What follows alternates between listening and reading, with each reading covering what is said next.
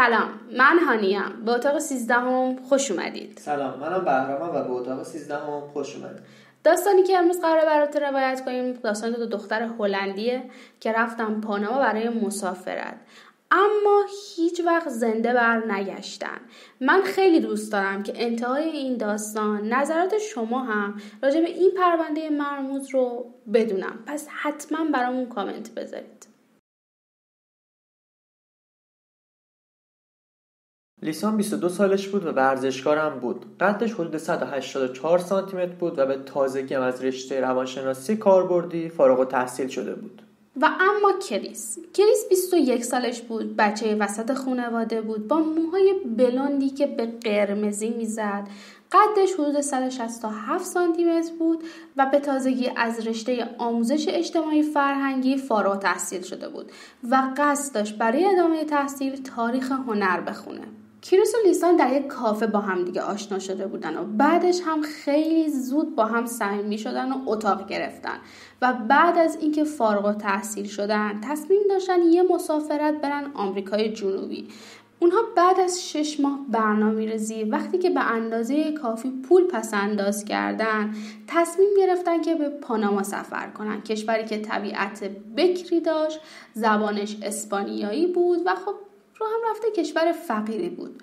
اونها تصمیم گرفتن در این مسافرت اسپانیایی یاد بگیرن در یک مهد کودک کار کنن به عنوان داوطلب و بعدش هم حسابی پاناما رو بگردن. اونها قبل از اینکه راهی این سفر بشن از خونواده و دوستاشون یکم پول جمع کردن و برای بچه های فقیر یک کمی اسباب بازی خریدن تا با خودشون ببرن.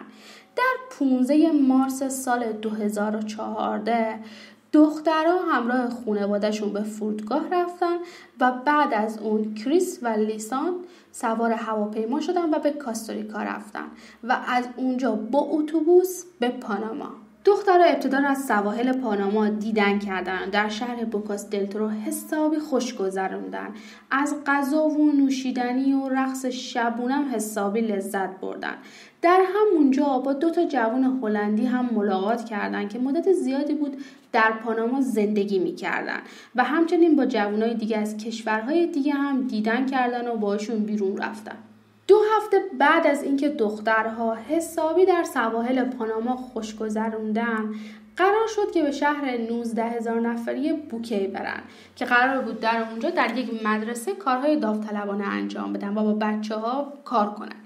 اما وقتی رسیدن به مدرسه مدیر مدرسه گفت که ما داوطلب احتیاج نداریم. برنامه همون عوض شده. اصلا به شما احتیاجی نداریم.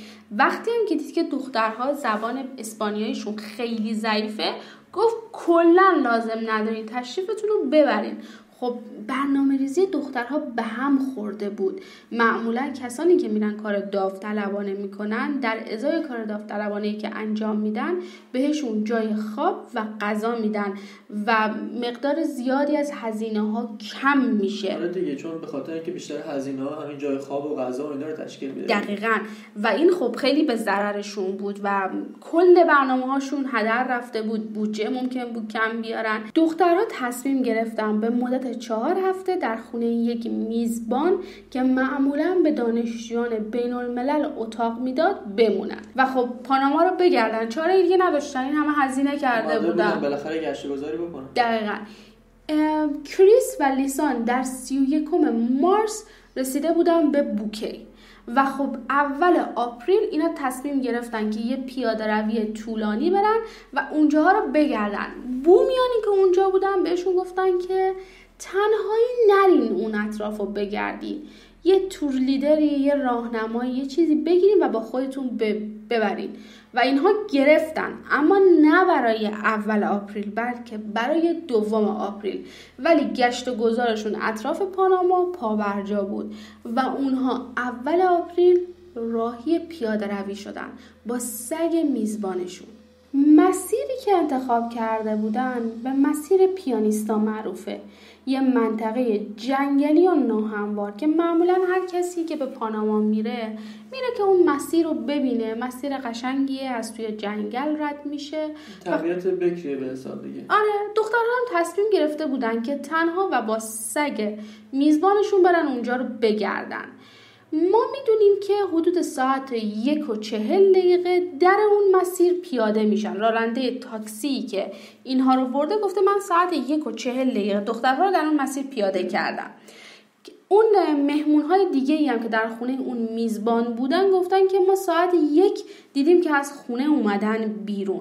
چیز زیادی با خودشون نبرده بودن. دوربین عکاسیشون دو تا شیشه آب مایو عینک آفتابی و همینها. چون قرار بود سری برگردن اونها در فیسبوکشون نوشتن که در حال پیاده روی در اطراف پاناما هستن.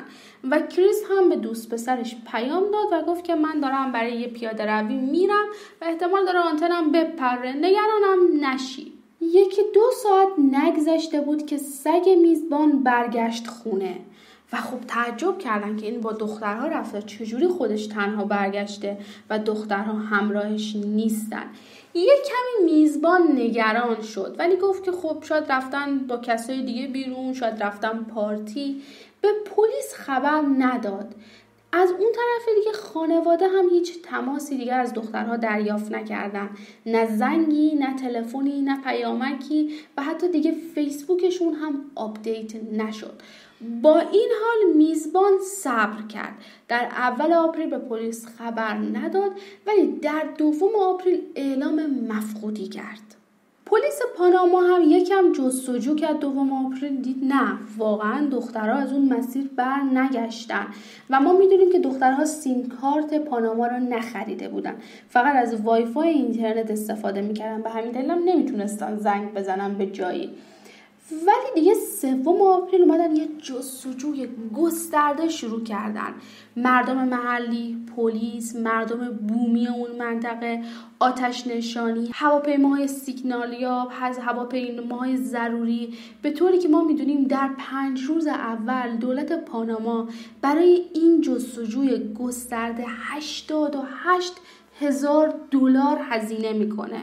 ولی خب تو بگو حتی کوچکترین نشونه ای از دخترها پیدا نمی‌کنن که ما می‌دونیم که اگر هواپیمای سیگنال یا بفرستن هر جا که احساس کنن می‌تونه دختر رو آره پیدا کنه. هر که سیگنال گوششون بگیره دیگه دقیقا. ولی هیچ اثری از دخترها نبود. در ششم آپریل خانواده دخترها بسیار نگران بودن و خب فهمیده بودن دخترها گم شدن و تصمیم گرفتن که برن پاناما. دولت هلند هم اومد سی قلاده سگ بهشون داد. تعداد زیادی کاراگاه زبده باهاشون فرستاد. برن که این جستجو رو شروع کنن و ببینن که دخترها رو می‌تونن پیدا کنن یا نه. ده روز تمام جستجو کردن و هیچ نشونه ای از این دخترها نبود که نبود. تو میگی که اینا انگار آب شده بودن رفته بودن توی زمین. هیچ نشونه ای ده هفته بعد از اینکه دختران ناپدید شده بودن یه محلی یک کوله پشتی آبی رو کنار شالیزارهای برنج پیدا کرد. اما مشکل کار اینجا بود که 14 ساعت پیاده روی داشت از جایی که تاکسی دختر رو پیاده کرده بود تا این شالیزار برنج. در کنار این فاصله زیادی که بود نکته های عجیب دیگه هم وجود داشت. داخل یک کوله پشتی 83 دلار پول نقد بود. گذرنامه دخترها بود شیشه آبشون لباس زیرا سوتین هایی که تنشون بود داخل اون کوله پشتی بود عینک آفتابیشون گوشی های تلفنشون که آیفون هنوز شارژ داشت و دوربین عکاسی. به نظر میومد این وسایل هنوز براشون مفیده چرا ازشون فاصله داشت. و یه چیز دیگه ای که خیلی چیز عجیبی بود این بود که کوله پشتی خشک بود. اگر کنار شالیزارهای برنج بود اگر رود خونه این کیف کوله پشتی رو آورده بود چرا کوله پشتی کاملا خشک بود؟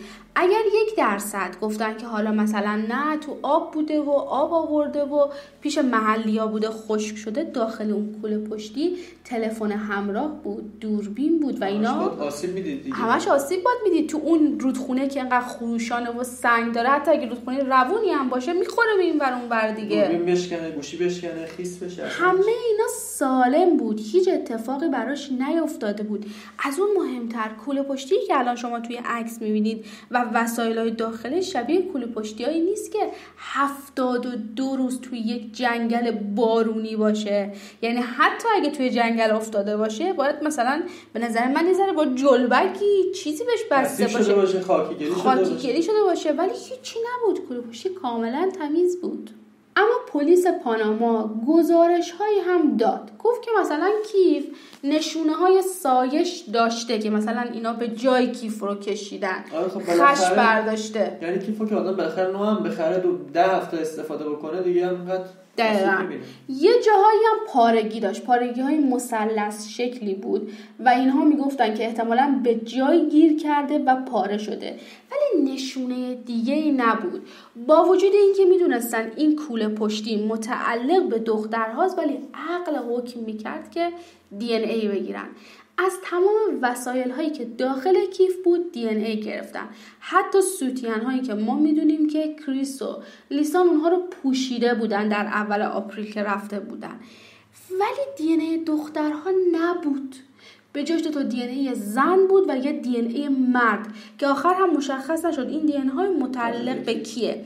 و اومدن از تمام کسایی که یه جوری به کیف ربط داشتن اون آدم های محلی که پیدا کرده بودن کیف رو آزمایش دی ای گرفتن.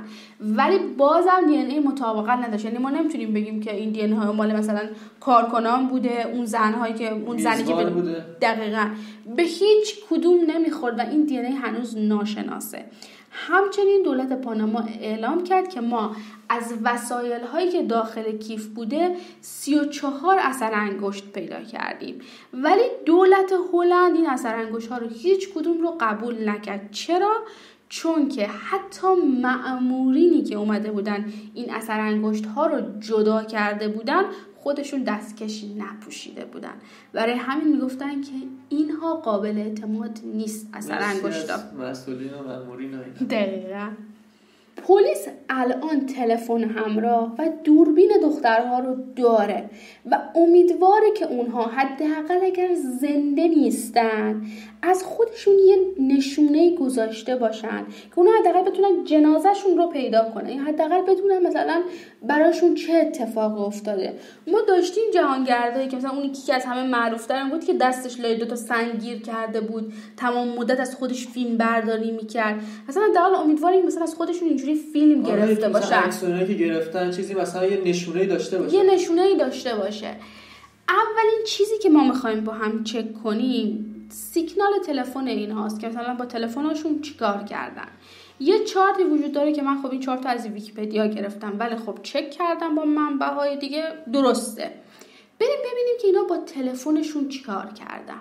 همین جوری که روی عکس می‌بینین دو تا تلفن داشتن که آیفون چهار بوده که مال کریس بوده و سامسونگ بوده که مال لیسان بوده. از ساعت 16 و 39 دقیقه اینا شماره 112 رو گرفتن. یک بار از کریس تماس گرفته و 16 و 51 دقیقه هم, هم لیسان تماس گرفته. یعنی اینا هنوز هوا روشن بوده. با پلیس تماس گرفته بودن با خدمات اورژانس تماس گرفته بودن. در صورتی که ما عکس ها رو داریم ازشون که بعد از این تماسشون اینا با عکس گرفتن به نظر میاد شادن خندونن هیچ مشکلی ندارن. اما چه دلیلی وجود داره که اینها قبلش با خدمات اورژانس تماس گرفته باشن.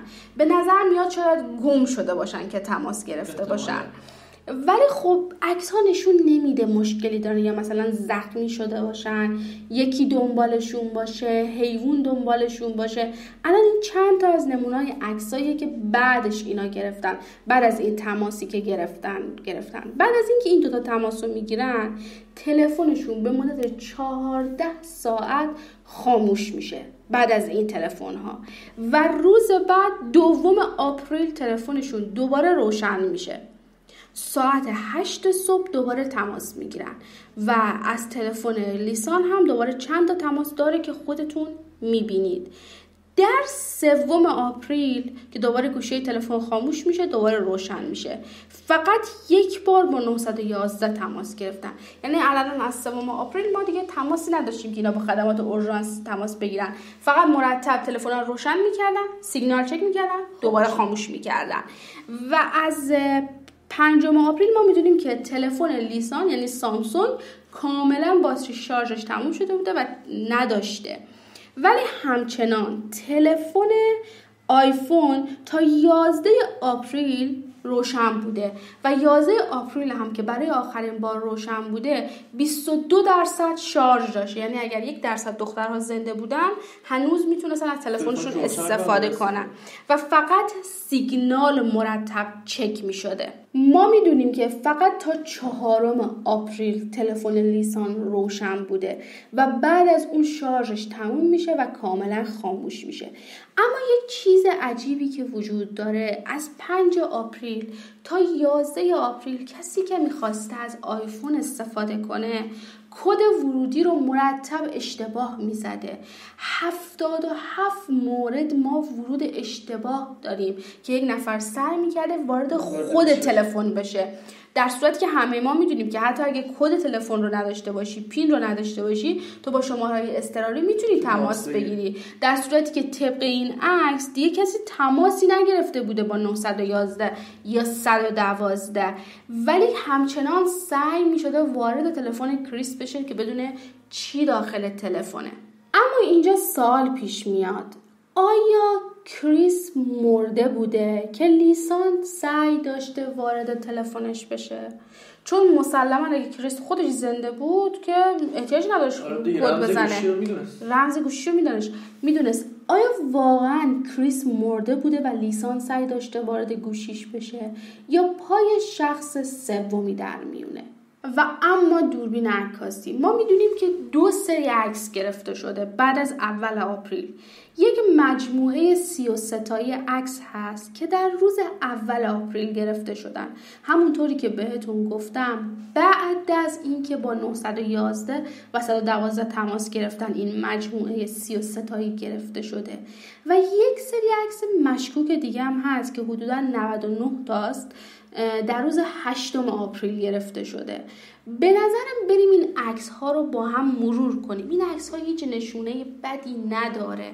به نظر میاد که دو تا دخترن خوشحالن هوا آفتابیه اما چیزی که این عکس ها نشون میده اینه که اول اونها از مسیر اصلی خارج شدن. یعنی مسیر پیانیستا که مخصوص گردشگرا بوده و هیچ خطری وجود نداره اونها از این مسیر خارج شدن. و وارد یه مسیر دیگه شدن. یعنی اصلا پرت شدن از مسیر. و به نظر میاد سرگردونن گم شدن. چیزی که حدس می‌زنن که اینها با 911 و 911 و 112 تماس گرفتن این بوده که گم شدن. به خاطر هم مثلا گم شدیم مثلا راهنمایی می‌کنید مثلا به دنبالمون دقیقا که برگردن. ولی باز یه سوال پیش میاد که اینها اگر راهنمای خصوصی گرفتن که فردای اون روز برن اینجا رو بگردن چرا خودشون به این مسیر دادن و وارد این مسیر شدن؟ که اینجا رو بگردن. سر مثلا کنجکاوی بوده یا مثلا گفتن خب بریم حالا چیزی که نمیشه از این حرفا شاید مثلا کسی همراهشون بوده مثلا با اون رفته بودن. هیچ آدم عاقل همچین کاری نمی‌کنه. ما می‌دونیم که خانواده کریس و لیسان همه عکس ها رو منتشر نکردن. بعضی عکس ها درس کرده بعضی عکس ها رو دولت پاناما منتشر کرده و خب من این عکس ها رو با چند تا منبع مطابقت دادم و سعی کردم به ترتیب لیستشون کنم. ما می‌دونیم که اولین عکس رو که 475 بوده شمارش 475 بوده در ساعت 17 و 8 دقیقه گرفتن.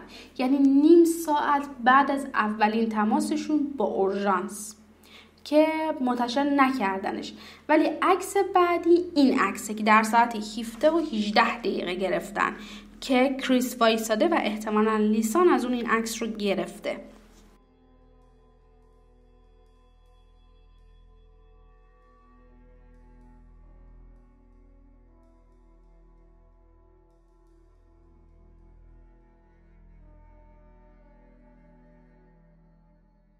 عکس 491 که کریس وایستاده و وقتی عکس زومتر رو نگاه می‌کنین دو تا شیشه آب دستشه. ولی داخل کل پشتی محتویات رو که گشتن فقط یک دونه شیشه آب با می‌دونیم که پیدا شده. و این مسیری بوده که وارد شدن در ساعت 18 و 42 دقیقه. ولی به نظر نمیاد اصلا مشکل داشته باشن. اگر دقت بکنید این عکس 497 این همون لباس زیریه که توی کوله پشتی پیدا شده لباس زیر لیسانه. و خیلی ها براشون سوال بود که خب چرا لباس زیراشون رو در آوردن؟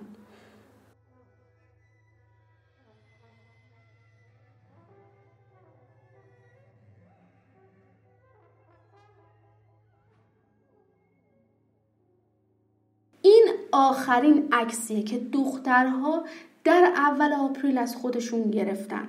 یعنی عکس 508 و ما نمی‌دونیم که چی این روند رو قطع کرده. خودشون خواستن این روند رو قطع کنن یا چیزی مانع این کار شده.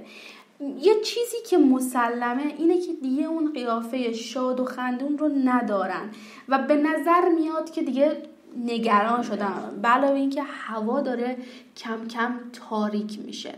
سری دوم عکس ها که حدودا فکر می‌کنم 99 تاست و در هشتم آپریل گرفته شده. این عکس ها بیشترش از فضای تاریک گرفته شده از جایی که یک کسی انگار خوابیده و داره عکس می‌گیره و سعی می‌کنه توی عکس ها که به نظر بگه که لیسان یا کریسه که داره عکاسی می‌کنه. بریم با هم یه چند تا از این عکس ها رو ببینیم که بسیار پر سر صدا شد و من در موردش یه سری چیزها بگم.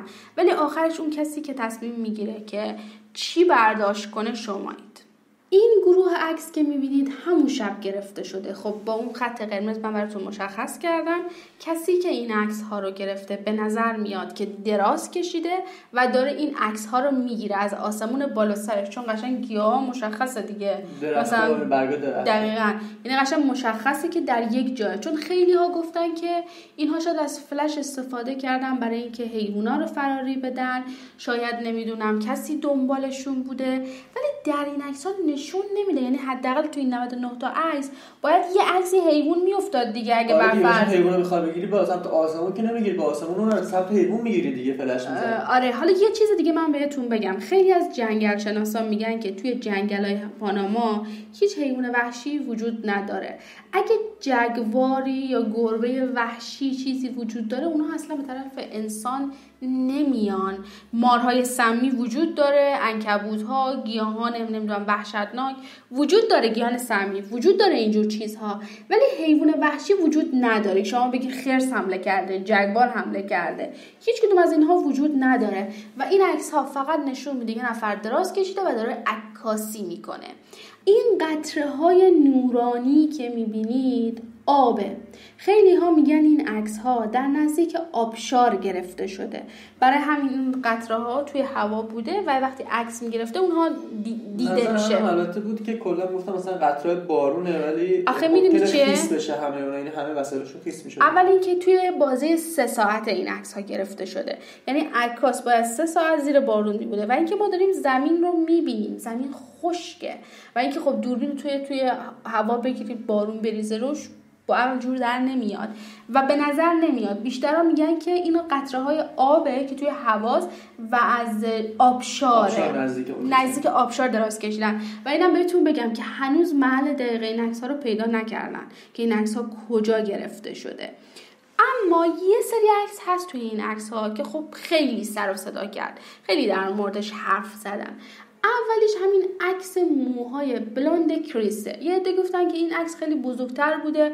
خانواده کریس اجازه ندادن منتشر کنن ولی همچین چیزی نیست. این عکس همینقدره. یعنی همینقدر بوده از اولی که گرفتن. در موردش سناریوهای زیادی چیدن. یه عده گفتن که موها رو ریختن جلوی صورتش و صورتش توی کادره. یه عده گفتن نه بغلشه. یه عده گفتن که فقط موهاش رو صورت مثلا لیسان گرفته شده. سناریوهای زیادی چیدن. اما دو تا سناریو بود که من واقعا اون تاثیر گذاشت یعنی واقعا منو ترسوند و خب من تصمیم گرفتم که اون دوتا رو با شما به اشتراک بذارم. ولی خب اگر دوست داشتید سناریو مختلف رو می‌تونید برید توی انگلیس توی اینترنت به زبان انگلیسی سرچ کنید و براتون میاره. اولین سناریو همین عکسیه که می‌بینید که دورش خط کشیده شده. اگر دقت کنید و نگاه کنید به نظر میاد که دوتا چشمه.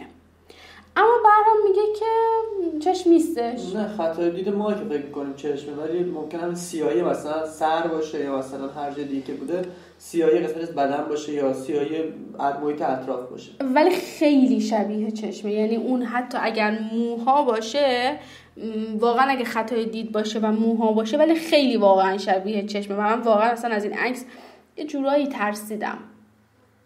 ولی سناریوی دوم میگه که این عکس از یه عکس بزرگتر برداشته شده و edit شده عکس. مثل این عکسی که می‌بینید. این عکس کوچیکه که مشخص تره میگن که البته این مونتاژ شده یعنی همین عکسی نیست که شب گرفته شده جز اون 99 تا عکس نیست. ولی میگن که از پشت موهای کریس گرفته شده یعنی موهاش بسته بوده و گرفته شده. البته یه عده میگن که خون می‌بینن توی عکس ها یه عده میگن موهای لیسان هم توی عکس ها موهای قرمز هم کنار عکس مشخصه ولی خب من واقعا ندیدم. تو عکس ترسناک هر چیزی بخوای می‌تونی پیدا کنی هر چیزی یعنی همه چیز ممکنه ببینید همیشه واقعا واقعا با این حرف موافقم. به نظر میاد که عکاس در تلاشه که بگه این کریسه. یعنی کریس زنده است. در صورتی که ما می‌دونیم از پنجم آپریل تلفن کریس کسی که می‌خواسته ورود کنه به تلفن کد رو اشتباه می‌زده. یا کریس زنده بوده و تلفنش در دست کسی دیگه ای بوده و یکی یا مرده بوده. و لیسان داشته از تلفنش استفاده می‌کرده. یه عکس دیگه هم منتشر شد که به نظر میومد یک نفر تو صورت یه نفر دیگه فلش زده و از این قسمت صورت عکس گرفته. با وجودی که یه عده اومدن این عکس رو مطابقت دادن و گفتن عکس صورت لیسانه ولی ما هنوز نمی‌تونیم به طور حتمی بگیم که این صورت لیسانه آیا لیسان واقعا زنده است؟ خودش گرفته اکثرا که اول بار نشون دادی بهت گفتم گفتم شاید مثلا قسمتی از دست حتی به قسمت دستم می‌خوره. دقیقا. و اینکه خب دوربینشون همین مدلی که الان داریم می‌بینین این دوربین رو به نظر من نمی‌دونم سلفی گرفتن چجوری میشه تو فلش رو بندازی و دقیقا از اینجا بگیری. یعنی به نظر نمیاد که دخترها باشن که این عکس رو از خودشون گرفته باشن. و یه عکس دیگه که خیلی در موردش صحبت شد سر و صدا کرد همین عکسیه که الان می‌بینید. یه عده گفتن که این چه عکسی آمدن گرفتن انگار یه شاخص که چند تا پلاستیک بهش وصل کردن. اما وقتی بخوای منطقی فکر کنی شاید مثلا این کار دخترها بوده چون این همین مدل پلاستیک توی اتاقی که گرفته بودن هم بوده.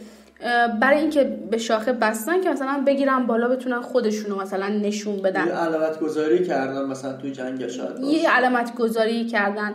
کنارش چند تا پوست آدم افتاده یه بسته چیپس افتاده سر یه بسته چیپسه. ولی خب چیزی رو نمی‌تونه نشون بده. یعنی هیچ کدوم از این دخت این عکس ها نمی‌تونه به ما ثابت کنه که دخترها زندن. یعنی هیچ علامتی نیستش. اما از بین اینا همه بگذریم من بهتون گفتم که روز اول آپریل اینا عکسایی که گرفتن از 475 شروع میشه تا 508 و عکس های 8 آپریل از 510 شروع میشه به بالا. یه عکس این وسط گمه عکس 509 عکس 509 خب خیلی ها در موردش صحبت کردن که چیه چرا حذف شده حتی اومدن ریکاوری کردن به خود کمپانی دوربینو دادن کارت حافظه رو دادن اما نتونستن این عکس رو برگردونن. خیلی از عکس های قبلی که مال مثلا خیلی وقت پیش بود رو تونستم برگردونن چون دخترها این رو با, با دستی پاک کرده بودن با خود دوربین پاک کرده بودن. ولی عکس 509 به هیچ عنوان بر نگشت و اصلا هم نشون نمی‌داد که یکم آپریل گرفته شده باشه و این عکس پاک شده باشه. نشون می‌داد که یکم آپریل عکس 509 گرفته شده و بعد از اینکه این عکس های سیاه عجیب غریب گرفته شده بعد از این عکس پاک شده. چرا که اگر هشتم آپریل اون عکس پاک شده بود عکس 509 پاک شده بود باید عکس های سری دوم از 509 دوباره شروع می‌شد. یعنی بعد از این عکس های سیاه اون عکس پاک شده. و خیلی ها می‌گفتن که خب این عکس چیه که پاک شده؟ چرا باید پاک بشه؟ و کمپانی کارت و حافظه گفت فقط در یک صورت عکس بر نمیگرده در صورتی که کارت حافظه رو به لپتاپ یا کامپیوتر وصل کرده باشن و عکس رو از با کامپیوتر پاک کرده باشن. یعنی ما الان نمی‌تونیم بگیم که خب ما بر فرض مثال یک درصد با مردم بومی طرفیم. مثلا این دو تا دخترها رو گرفتن و کشتنشون. به نظر میاد یه کسی این کارو کرده کار بلده بلد بوده این کارو. دقیقا می‌دونسته که باید عکس رو با کامپیوتر پاک کنه که عکس 509 پاک بشه. یعنی شاید مثلا یه عکسی بوده که دختره از اون کسی که مثلا دنبالشون بوده گرفتن. یعنی واقعا یه چیز عجیب و غریبه. چرا باید مثلا بین اون همه عکسی که گرفته شده اون 100 تا عکس سیاه و اون 33 تا عکسی که خودشون گرفتن فقط یک عکس پاک بشه؟ خیلی ها هم گفتن که خب شاید حافظه دوربین مثلا کم بوده برای همین گرفتن. نه اصلا همچین چیزی نیست. حافظه دوربین با وجود حتی اون صد تا عکس مزخرف سیاه سفیدی هم که گرفته بودن باز هم جا داشته. و یا حتی یه عده می‌گفتن اون عکس سیاه سفید رو گرفتن که اون عکس 509 مثلا جاش حذف بشه. ولی اصلا همچین چیزی نیستش. اینجوری پاک نمیشه. و خب شاید عکس 509 جواب این سوال باشه که چه اتفاقی برای دخترها افتاده. تقریبا چهار ماه بعد از گم شدن دخترها سی و سه تا استخون از دخترها پیدا شد. دو تا استخون متعلق به کریس بود و بقیه همه متعلق به لیسان بود. همچنین یه دونه کفش پیدا کردن که پای لیسان هنوز داخلش بود و در مراحل اولیه تجزیه بود. یعنی به نظر می اومد تازه جدا شده از پاش یعنی هنوز زنده از خودش و پاش جدا شده و داره تجزیه میشه. به همین دلیل اول می‌گفتن که حدسشون بر اینه که جنازه دخترها در مکانیه که سرد خونکه و تاریکه. به خاطر همینه که تجزیه نشده هنوز. کل اون منطقه رو گشتن و همینطور که بهتون گفتم فقط 33 تا استخونشون رو پیدا کردن. و این استخون ها بسیار تمیز سفید بود. و خب روش آزمایش کردم و گفتن که هیچ چیزی مشخصی نیست که بگه چه اتفاقی برای دخترها افتاده. حتی نتونستن خراش پیدا کنن که نشون بده یه حیوان اینا رو کشته. چون حتی حیوان وحشی حالا علاوه بر اینکه مثلا گاز می‌زنن یه چیزی حتی مثلا زبونشون هم بکشن خش برمیدارن دقیقاً. و اینها می‌گفتن استخونها فوق العاده تمیزه. چرا نباید هیچ ردی از حیوان باشه؟ و به نظر نمی اومد که مثلا حیوان اینا رو کشته. و حتی می‌گفتن شکستگی هم نیستش که ما بگیم اون پای لیسان که پیدا شد یه چند تا شکستگی داشت. ولی می‌گفتن به خاطر راه رفتن زیاده و به نظر نمیاد که مثلا آسیبی دیده باشه یا استخون ها برشش جوری نیست که بگی که حیوان اینها رو گاز زده. و می‌گفتن که مار سمی وجود داره اونجا ولی مار سمی نمی‌تونه استخون رو در این حد له کنه. چون جمجمه هاشون هنوز پیدا نشده جمجمه سرشون هنوز پیدا نشده. و حتی می‌گفتن جگوار هم نمی‌تونه سر رو به این حد بخوره. تقریبا در اواخر سال 2014 بود که یک گلوله پوست پیدا شد. یعنی شما فکر کنید که یک گلوله پوست پیدا شد و خود پلیس گفت که این گلوله پوست دستکاری شده است. یک گلوله پوست که متعلق به لیسان بود و به نظر میاد که از میومد که از پاش جدا شده باشه گلولش کرده باشن و انداخته باشن. و همین کارو دیگه حیوان نمی‌تونه انجام دقیقاً. و اصلا می‌گفتن همین مسئله نشون میده که این پرونده پرونده قتله و دستکاری شده. چجوری میشه که پوست رو از رون کاملا جدا کنن؟ گلولش کنن گلولش کنن و بندازنش یه جایی. و خب این پرونده رو دیگه جنایی کرد پرونده رو ترسناک کرد.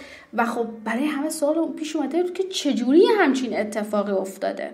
یه متخصصی که کارش این بود که با بقایای انسان کار می‌کرد معتقده که اتفاقی که برای دخترها افتاده اینه که طی یک حادثه کشته شدن تکه تکه شدن اجزای بدنشون خالی شده و بعد دفن شدن. اون معتقده که دولت پاناما چون خودش هم پاناماییه معتقده که دولت پاناما نمی‌خواد این رو اعلام کنه چون کشور فقیریه و عمده درآمدی که داره از روی مسافرا میچرخه و توریست توریست میچرخه و معتقده که اگر این حرف ها رو علنی کنه خب خیلی اتفاقات بدی خواهد افتاد. در چند ماه بعد شلوار جین کریس هم پیدا شد. اما شاید براتون جالب باشه بهتون بگم که با وجودی که این شلوار توی رودخونه پیدا شد که به یه جای آویزون بوده پارگی نداشت. به غیر از همون پارگی که الان می‌بینید که ذره کشیده شده. هیچ خونی روش نبود. هیچ مایات بدنی نبود. یعنی خیلی عجیبه که مثلا اگر بدن داخل شلوار پوسیده باشه می‌گفتن که باید مایات چربی مایات از تجزیه روش آره باشه. چون جسد مثلا تو جسد حیوانه و اینا که مثلا خیلی جاد دیدیم وقتی که رو زمین هم هست یه روغنی از خودش پس میده کثیفی از خودش پس میده. حتی میگن اگر توی رودخونه هم پوسیده شده شسته شده باشه باید یه نشونه ای از خودش داشته باشه. ولی این شلوار اصلا نشون نمیده که کریس موقع کشته شدنش یا موقع تجزیه شدنش پاش بوده باشه. و خب این مسئله رو خیلی داره عجیبش می‌کنه. اما از همه اینها بگذریم که در مورد این پرونده شنیدیم یه سری اتفاقاتی افتاد که خب دولت پاناما نمی‌خواد زیاد در موردش حرف بزنه. یه سری اطلاعات هم که بیرون اومده روزنامه نگارا خب در موردش نوشتن. اما یه چیزی که عجیبه شاید اگر یادتون باشه اولش بهتون گفتم که کریس و لیسان رو یه راننده تاکسی اینها رو برد در اون مسیر پیانیستا قرارشون داد. یک سال کمتر از یک سال از گم شدن دخترها میگذشت که این آقای راننده تاکسی کشته شد و مشخص نیست چه کسی کشته شده. شاید بهتره بگم غرقش کردن. چون در روزی که ظاهرا دخترها رو سوار تاکسیش کرده بوده دو تا مرد پانامایی هم داخل ماشین بودن. و خب می‌گفتن این شاید نشونه ای باشه. اونها فهمیده بودن که این دخترها کجا رفتن بعد دنبالشون کرده دخترها رو و داخل جنگ دخترها رو کشتن. ولی خب ما نمی‌دونیم این موضوع چقدر حقیقت داره و اصلا مرگ این راننده آیا ربطی به دخترها داره یا نه. اما در کمتر از یک سال در همین بره یک ساله که دخترها گم شده بودن و در پاناما در موردش حرف می‌زدن یک عکسی منتشر شد. این عکس از اون طرف رودخونه گرفته شده دو تا دختر نشون میده و دو تا پسر رو نشون میده. طبق شواهد میگن که کریس و لیسانن دخترها.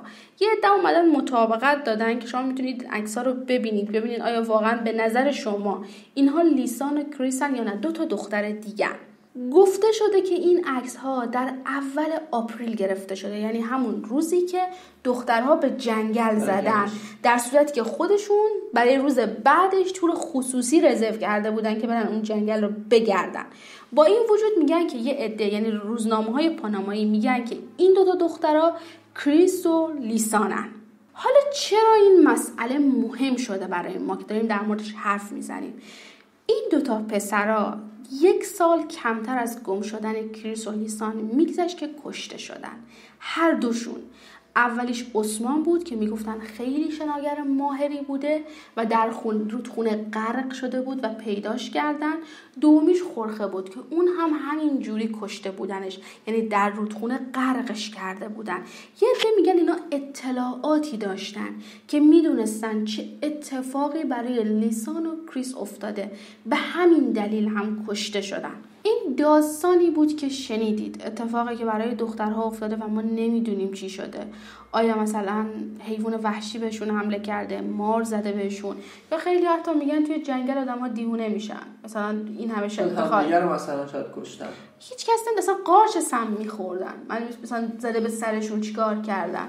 هیچ کس نمی‌دونه دقیقا چه اتفاق افتاده و این مایم که باید بسته به اون چیزی که می‌بینیم و میشنویم تصور کنیم که براشون چه اتفاق افتاده با این حال خود روزنامه های پاناما، پانامایی خود اون مجری ها و کسی که در مورد صحبت می‌کنن مثلا چند وقت پیش مجری معروفشون گفته بود که ما هممون می‌دونیم به اون دو تا دختر هلندی تجاوز شده و بعد در جنگل کشته شدن ولی دولت پاناما نمی‌خواد در موردش حرف بزنه تو چی فکر می‌کنی؟ من فکر می‌کنم یه گروه های قاچاقچی حالا مواد یا قاچاقچی انسان بودن که کشتنشون یا اینکه مثلا حالا قاتل یا قاتلینی بودن مثلا همون دو تا پسری که توی تاکسی بودن ممکنه اونا بوده باشن. منم فکر می‌کنم. من فکر می‌کنم که حالا اونها اون روزی که رفتن با کسی قرار داشتن.